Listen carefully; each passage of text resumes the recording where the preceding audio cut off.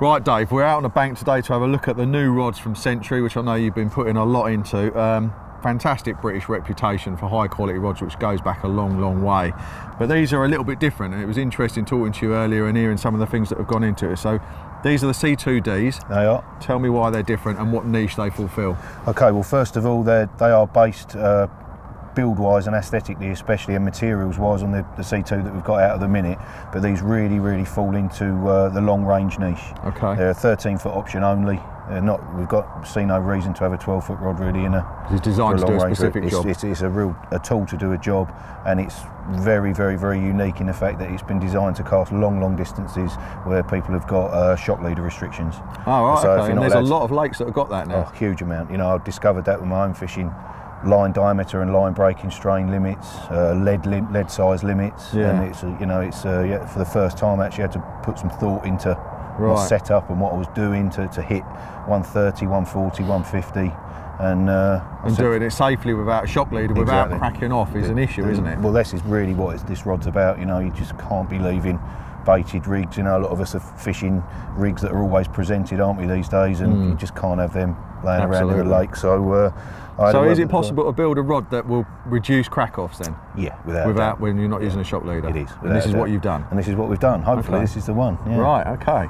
It's a different concept to how most rods are rolled and, and baked and, and produced, isn't it? It's uh, and, and if it allows people to what are you using like 035 so 035 to 037, sometimes 04, you know, Okay. depend 04. which for most depending- people is about a 15 pound. A lot of Yeah, lines are in that yeah. designation, and you're using that all the way straight through.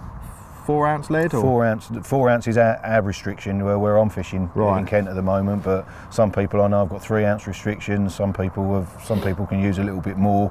Right. But but four ounces are you know, if you if you're going to try and fish like 140, 150 yards, four ounces is a, it's Okay. a good, it was a good starting point for us So both this the rods are, are 13 foot. Yep, Both the rods are the same test curve. yep. So the only difference is, is the way they're run. So what's going on there? So basically, yeah, there's there's two rods, and like you say, they're they're absolutely identical. There's effectively one rod.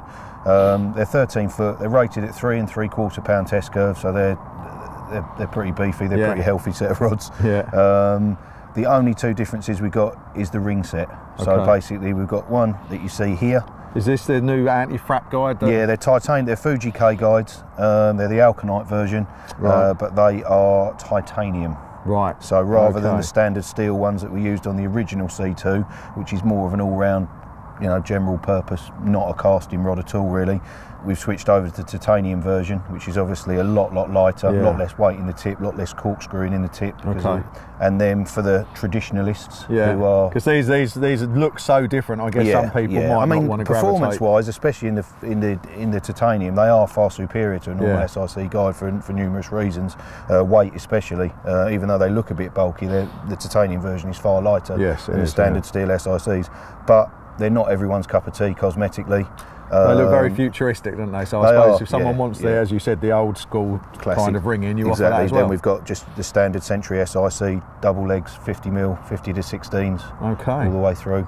Very nice. Okay, a really impressive concept. It's nice to hear something Yeah. different um, behind a rod. So uh, let's stick some reels on and have a play, Shall we shall have a go? Yeah. Okay, nice. mate. Let's give them a go.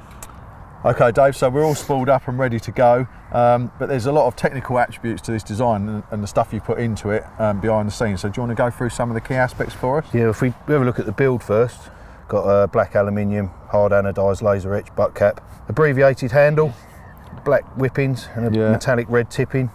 Metallic red tippings again, Very classy. either side of the reel seat, a little bit of EVA either side, and then we got Alps to very kindly did us this custom matte Beautiful. aluminium. Yeah, it's the same reel seat as their, their normal round one. We had the triangular profile one on the other Yeah. C2s. They're quite thin. Yeah. So if you need, need to get hold of it for a long range, these ones have got a, a bit, little bit thick, a little bit more to get hold of. That does look lovely, mate. And we've had them, Beautiful. yeah, we've had them done uh, in a matte colour. Their standard one's like a shiny finish.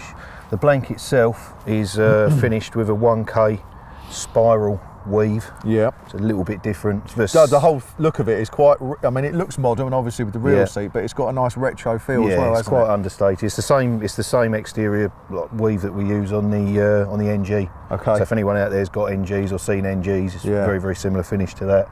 Um, and plain black whippings all the way through. This one here we- we've got to have a cast with in a minute. It's got the titanium K guides on. Okay.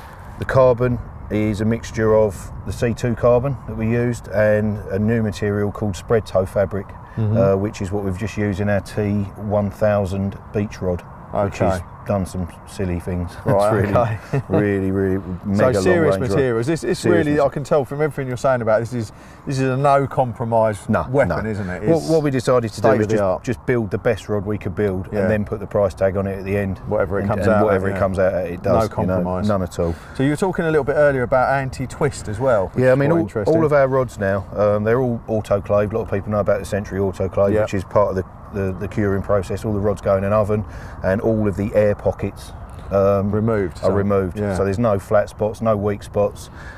Obviously, guards them against breakage, but Yeah. also guards them against test curve decay. So right. it's not okay. going to be. so you don't get that softening over a no, period of time. These will last you as long as you need to use them. Very they won't, good. They, won't, uh, they won't back off at all.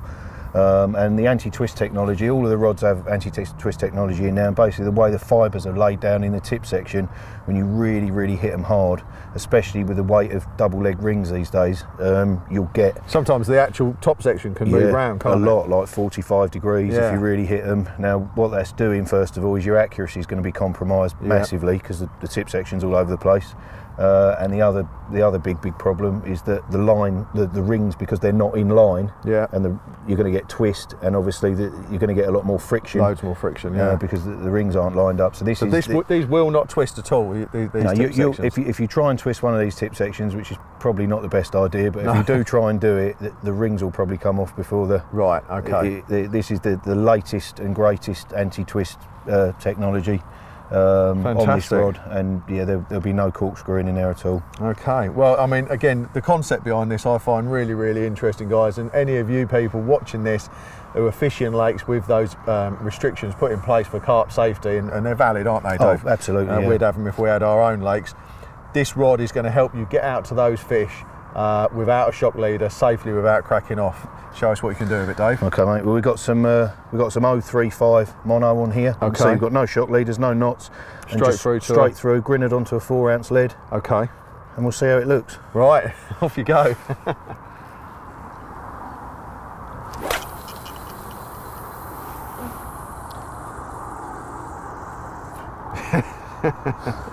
yeah. Yeah, Phenomenal. hang time. that to, to cast that hard with a four ounce lead certainly you know I'm, I'm a fairly erratic caster i would without question i would crack that off but that was beautiful it looked effortless the It's- blank obviously is, is powerful but the key is it's powerful in the right place Powerful in the right places. Most of the crack offs when you're fishing like this, as we touched on, we were chatting earlier, the, the, the shock will occur in the in the, the thickest bit, in the butt section, in Yeah. the most powerful bit.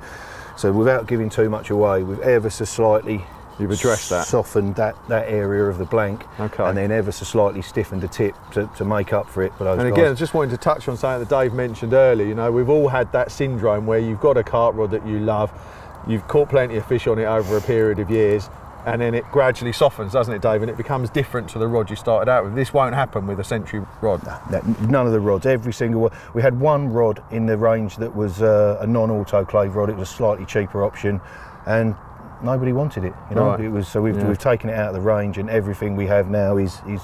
This is slightly higher spec than, than some of the other rods. The, the C2s are our flagship rods, Okay. uh, but every single rod has, has been given the autoclave treatment. So Okay. uh, How far can you put a four ounce lead with this setup that you've got? I've actually personally only tested this with uh, with no shock leaders Yeah. because that for me that was That's what it's th- th- designed this for, will isn't it? work fantastic. I mean, if you can use braid and braided shock leaders, and and this will do. It will go even further. I've had this clipped at 160 with dry 037 line. It's, uh, and I'm not an amazing caster. There's a lot better casters out there than me, but the, this this rod will do it, you know, and it will do it with ease. Brilliant. Just to finish off, mate, we've got uh, a matching spod rod now as well. One thing we've never ever had is a 13 foot spod rod.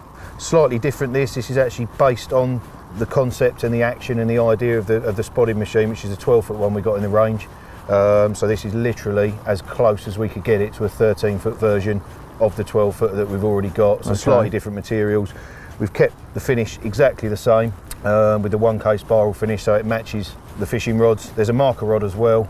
Um, we've just got a standard DPS reel seat on this one today, but these will also come as well with the uh, with the black Alps reel seat with the uh, with the laser etching on. Uh, we've kept these just with the 50 mil SICs all the way through. for someone who can't cast, and I'm, I'm not much of a caster at all, uh, this setup that Dave's let me have a play with is, is phenomenal. And again, 035, which is 15 pound line, straight through to a four ounce lead. Just make that slightly shorter. And even in my hands, it's going a reasonable distance. Dave put it a ridiculous way. Hell of a weapon. Great stuff, Dave.